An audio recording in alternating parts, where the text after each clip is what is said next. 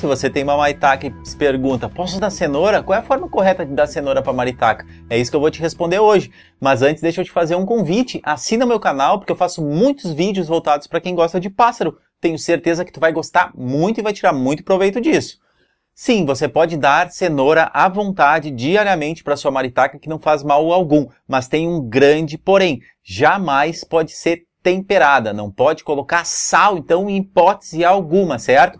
Porque senão você pode até matar a sua maritaca. Inclusive, eu te aconselho a assistir um vídeo que eu fiz de 10 alimentos proibidos para quem tem maritaca, certo? Para quem tem pássaro. Assim como eu fiz outros de 10 alimentos que você tem que dar também. Te convido a assistir os dois, tá bom? E deixa eu te perguntar, a tua maritaca gosta de comer cenoura? Você já dá isso para ela? Ela come bem?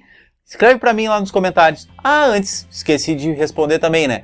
Crua ou cozida? Isso é uma preferência, tá? Uma questão de preferência dela. Tanto faz, você pode dar crua ou cozida. Vê o que ela gosta mais de comer, tá bom?